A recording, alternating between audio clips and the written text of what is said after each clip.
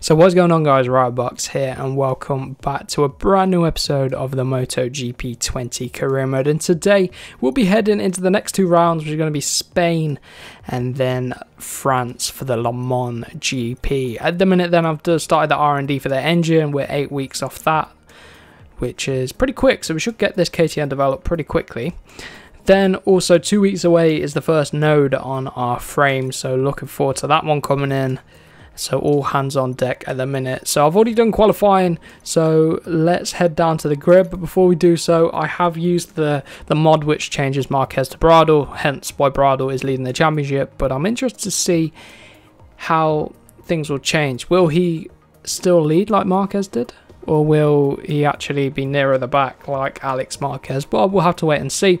I've shot up the championship to fifth for KTM, so good results all around. And uh, it is the Petronas Yamahas pretty much going to be leading, especially the team rankings. Yeah, Petronas Yamaha leading over the KTM team as well, which is good. We're, we're in second place, which is really good. So let's head down to the grid then for the Jerez Grand Prix.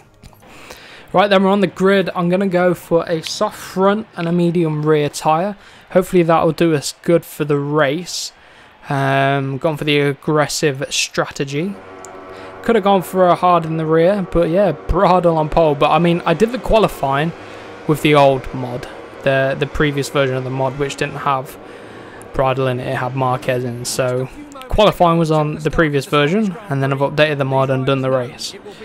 Um, so let's see how we get on then. great to hear the sound of this KTM roar again. I'm going to go for Power Mode 2 from the launch. And for some reason, my helmet's gone. Don't know why the helmet's gone. Pretty weird. i have to sort it out. It's turn number one. Decent run. Whoa! Tito Rabat, what's he doing? Being beaten up a little bit at the start of the Grand Prix. Not quite got the grip from the front end. P15 right now. Let's see if we can push on up the grid a little bit. Going for Power Mode 2, I want to pick up as many places as possible early on. And Petrucci hitting the deck, running wide there. The AI seem to do that at this track, which is really weird. Here we go then, on Lecuona. Getting on the brakes nicely. Into the hairpin, a little bit wide. We run out Vinales there. But the Yamaha picking up better traction, but as soon as our KTM, once it starts getting the power down, it's going to pull away. Rabat hitting the deck. Right then. Good run on Zarco too. Find ourselves in P10 again, struggling with the front end. Oh, God, God, what's he doing? Nerfing us out wide again. But struggling with the front end of the bike. Yes, powering around that Ducati. Oh, running wide. So I'm glad I haven't gone for like a medium front tyre.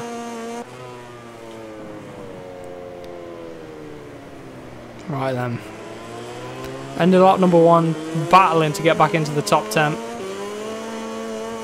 Gonna have to use some power mode too, but it's Oliveira that leads on the Tech 3 KTM.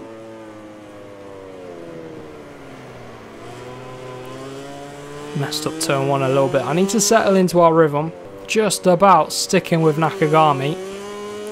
Desperately trying to go with him. He's got Morbidelli ahead of him, then Valentino Rossi, and then looks like a Pramac, as well as Quartararo just up the road there. But we've got a good little room here. Bit deep into turn 9 though. Bring around 4 tenths off Nakagami, so gradually catching up to him now. We've settled a bit in this race, which is good. And here we go, up the inside of Nakagami. Running wide there just struggling in some of these braking zones with the front end.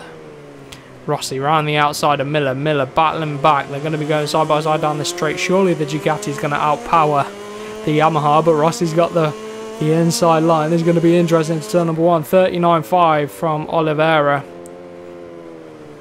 40.5 from us. So about a second off of the front runner pace.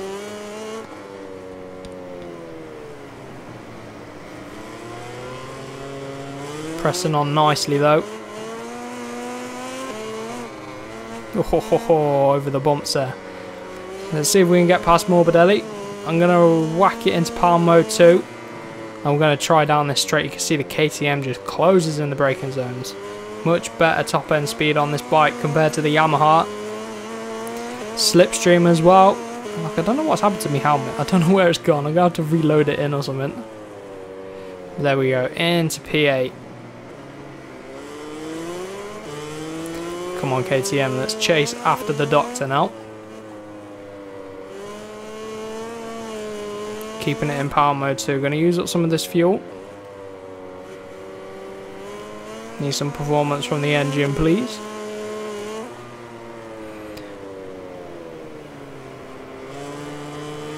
Right, now we're, we're bunched up a little bit here.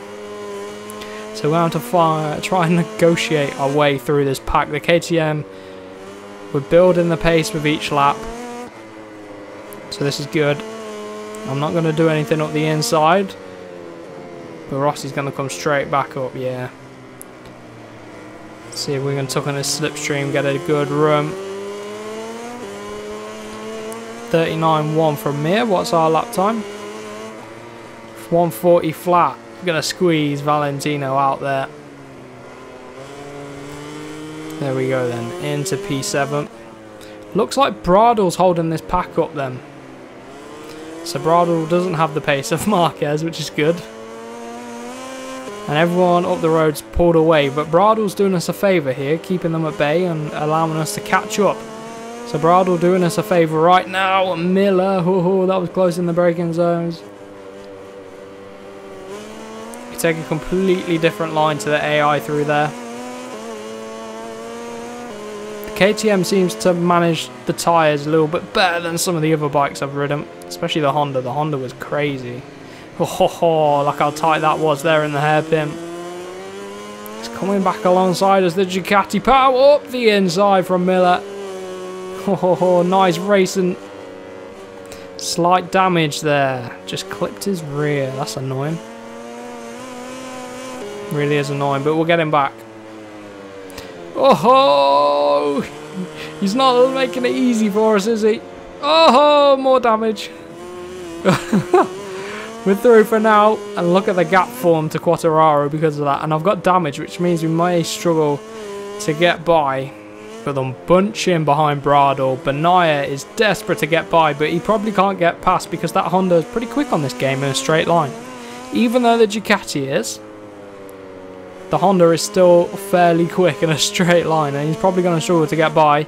Quartararo is just hooked onto the back, but this is our chance to get a few positions. Could even get ourselves a podium here, but Bradl definitely our best friend in this race. Definitely is. We'll probably see him qualify lower down the grid in the next race. But yeah, I've got two. I've got about. I had about a lap of extra fuel, but I've used that up now, just to close the gap down, get onto the back one. Let's see if we can pick up a few more positions. Oh, surprise attack on Quartararo. He defends well around the outside. He's taking a much wider line. Bagnaia trying to cut it back. Bradl holding that inside quite effectively though. And he's going to run. Bagnaia out wide there. This is interesting to watch this race. Come on, let's go. Sticking with them. Oh, come on. Yes, underneath of both of them. Job done there. Fantastic. Around the outside of Bradl. We're not going to hold it, surely. Surely not. No, he comes back at us. Bagnaia back through. Quartararo is still there. Here we go then. Up the inside of Bagnaia. I'm going to get a screenshot for the thumbnail. Getting back to the action. Oh, making sure on the brakes nicely. And Bagnaia clipping our rear tyre. And out wide we go. That might have cost us a podium here. It's cost Bagnaia his race. And he was doing pretty well. And I've got to go and give chase now. Mavericks hit the deck. Lots of people hitting the deck. Crazy, crazy stuff. I've got a little bit of fuel. Going to use it, but Quartararo's caught right up to Bradl again. Bradl was going so slow in this race. He has absolutely no pace, but he's holding that line. But that has proved really costly. See if we can get Quartararo come the end of the race. The KTM looks after the fuel well, which means I can use probably use mode 2 to the end, so I'm going to do it. Question is, do I have enough speed to close the gap? Because if we can get onto the back of Quartararo, oh, look at them. They're battling, they're battling, and this battling could give us a chance at a podium. Quartararo around the outside of Bradl there. Quartararo for the last step of the podium. Come on. Come on. I don't think I'll get Quartararo. We can go for Bradl though. Come on for P4. Whoa! Crazy avoiding action there. Get around the final corner. Nicely out of there. Bottom gear corner. Bradl's coming back though. Where's he got this speed from? Who's gonna get it? who got who got fourth place? Yes, we did. We did. Fantastic. So Mir taking the win from Oliveira, Quartararo, and then us. Pretty crazy race. I'm going to scroll down so you can see the order. Looking pretty crazy. Pretty crazy. I'm liking this mod already. In terms of the team, the Riders Championship then, we jump up another place. Quartararo just 7 points off of Morbidelli. Mir shooting up. So uh, it's going to be interesting to see who wins this season. But Petronas Yamaha leading over Suzuki. Suzuki are going to be strong. You know they're going to be strong. But Yamaha leading the constructors then from Honda then KTM. So we're right up there. We're right up there. We're going to have a right mixed bag of results. So it's going to be interesting this season. It really is. Get that money in the bank. And let's skip on a little bit then. So we've got our new frame part. We've got our engine part on the way. It's now time to get people back on frame development. So let's do that. We're going to keep upgrading the frame because the front end doesn't feel great, but uh, we're working on it. We're really working on it. There we go. Right. So we should be able to start the next node fairly soon better distance. So I don't know what I'm going to do, but I'm going to save up some points for now. But let's head into the Le Mans Grand Prix then. See how we get on. See who qualifies where. It's going to be an interesting one. Right then, so we're going to go out at the end of session. Rins is currently leading from Vinales, Nakagami, Bagnaia, Mir and Rossi. So let's head down to the grid then, see how we get on in this qualifying two. The halfway of the lap with four tenths off, but I found in qualifying one that our sector three and Sector 4 were way quicker than the AI, so we might be able to get onto the front two rows, hopefully. Let's ride on board and see how we get on. Pushing it into the chicane. Messed up a little bit through there. I just haven't got the agility from the front end that I was hoping for. We've closed the gap right down to about two tenths. Last corner to go then. Blast out the final corner. What's it going to be? 32.3 just half a tenth off. And that's P3 for us in qualifying. I'm not going to go again. That's going to end it for us. So front row then. Just behind Rins and Vinales. On the second row, we've got Nakagami, Bagnaia and Mir. Where's Quartararo then? A little bit further back from the Petronas Yamaha, so obviously struggling around here. But let's see how we get on the race then. I need to decide what tyres to go for. I'm going to go aggressive again. I'm really struggling with the front end, so it's going to be a soft front, medium rear, a lap of extra fuel, and let's just go for it. Let's see what we can do from the front row of the grid. Same tyre setup from both Suzukis, so that's going to be interesting. Same for Quartararo. Lights are about to go out then. We've got the inside line. We're going to have a fast launch in Ducati. Here he comes already. Oh, the wheelie from the KTM. Thank you very much for that. I need to get our electronics upgraded a little bit, but into turn two, covering off Mir, but Nakagami going around the outside, which will become the inside into turn three. We've ran it deep, but again, we'll get that inside line for turn four. Crazy stuff. But Valentino Rossi, let's fend him off. And we only lose one position off of the start. I will take that. Not a bad start at all. Oh, there he is. The more agile Yamaha. Oh, Valentino, he's still there. Scared me, I went out wide. But anyway, in fourth place, we only lose one position off the launch, but it's Rins leading from Maverick from Nakagami. Quick start from Nakagami.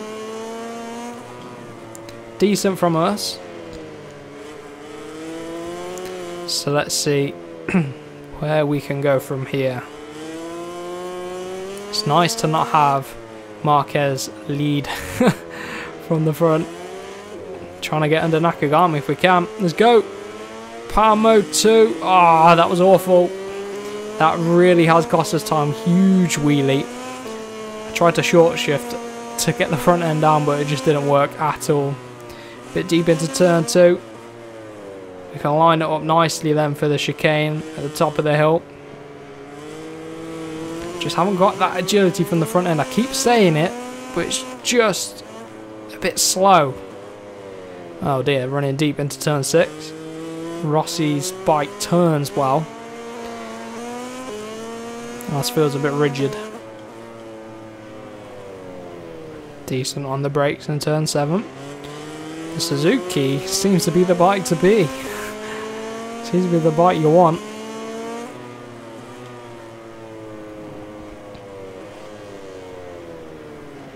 Deep there. Get away with it. Right, everyone's queuing behind. Around the outside, nicely does it. Bit of a block pass around the outside. Oh, he comes back at us. See what I mean? I can't get the agility from the KTM. Going back up the inside. Oh, again blocking him off. But I just can't hold the apex. Haven't got much mid-corner grip. Here's the final two corners then. Rins pulling away with it. Absolutely crazy stuff. 33-4 from Rins. A whole second quicker than us on that lap. Obviously we were battling with Nakagami a bit. Oh, Vinales a bit slow up the hill there. Oh, ho, ho, having to watch out for his rear tyre. Rins pulling away. He's taken the spirit of Marquez. Should be Mir, if anyone. Let's see. We should have plenty of tyres to go for the race. But let's see. I'm sort of interested to see if I get past Vinales, do I have the pace to chase back after Rins? Because Rins is pulling away at a rate of knots. Here we go, up the inside of the Yamaha. We're on Vinales. What's the gap now? to Rins. Can I close this gap? Oh my god. So deep.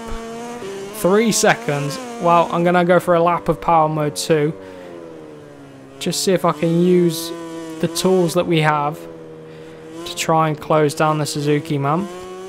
Obviously, we're trying to defend our championship with KTM. Which is going to be tough, but we've had a good start to the season which will help. 33.3 33.5 and that was with a bit of a battle too. So a lap of power mode 2 let's see if we can close him down. 3.2 is the gap as we cross the line. See what it is through the first sector. Like I said in qualifying we're faster in the second half of the lap so it's all about what the time is as we cross the line at the end of this lap more than anything although I've closed him down but I've run very deep which isn't good. really not good. All about net time gained over the lap. So this is the important one. 33-1. Wow. 33-1 from us as well. So 3.2 seconds. Again, we match times. I have had to turn the engine down, but let's see. Again, what we can do on this lap. We've got three laps. So if I can find a second lap, we might catch him. Zarco's hit the deck. But if I keep the pressure on, Maybe he'll make a mistake. Quartararo's hit the deck. So both Frenchmen hitting the deck here at their home Grand Prix, but did they collide? oh, come on, got no grip at the front end.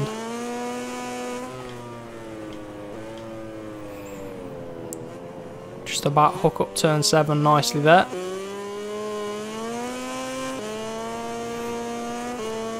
Wonder what the gap is. 3.7. Rins has found another gear I haven't. I'm just run it deep. I have no confidence on the brakes on the front end. No confidence in the front end on this bike. None. Absolutely none. Works in this third sector. This chicane here is where we really do gain a bit of time on the AI, but again, the front end.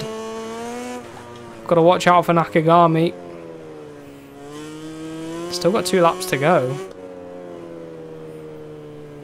Still got two laps to go. It's all about consolidating the second place then.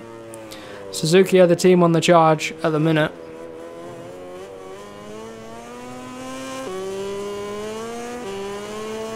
Thirty-two point eight from Rins, thirty-three point nine. Yeah, he's pulling away like mad, riding like a madman. I'm gonna save some power mode too in case I need to defend, because I don't know what's going on, but sort of struggling to find some pace. And Nakagami's closing us in. Oh, just trying to push it down the hill.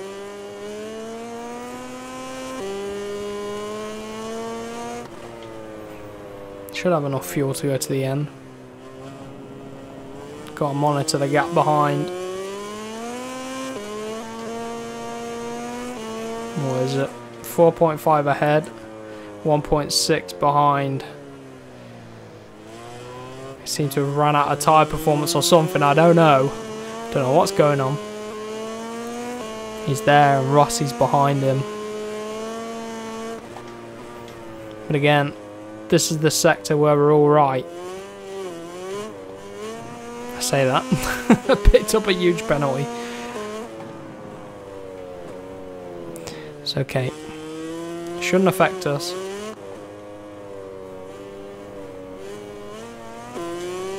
Bit of understeer from the bike right now. Get it around these final corners and we've got one, whoa, very slidey at the rear. Struggling through the right handers. 32.7, 32.8 from us, so a better lap. Despite the struggles. 32-6 from Espargaro, everyone's up their pace. It's the fuel loads dropped. Come on, we've got to watch out for Nakagami, although he's dropping off a bit now. No, he's not. He's very much still there. 4.9 is the gap, 1.6 still to Nakagami, so we should be alright. Just gotta keep the thing in line. Keep it in line and we should be alright. About half a lap to go almost. Plenty of fuel in the bag too five second lead from Rins, absolutely dominating today. Bit of mode too, because we've got plenty of fuel. Still there, poles there as well.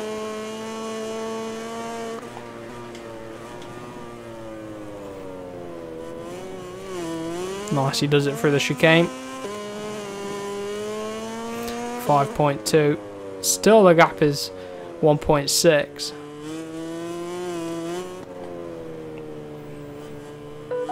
We've pushed our rear tyre a little bit in this last sector, but we should be alright. One more corner to go then. Blast for the line for the final time. Rins takes the win. Absolute domination from the Suzuki rider. We take P2, which is good for our championship. Getting ourselves back up there. So that's good. Take a look at the results then. Just going to flick down. Anyone stand out? Vinales only 11th. Better race on Crutchlow. Bradl 15th.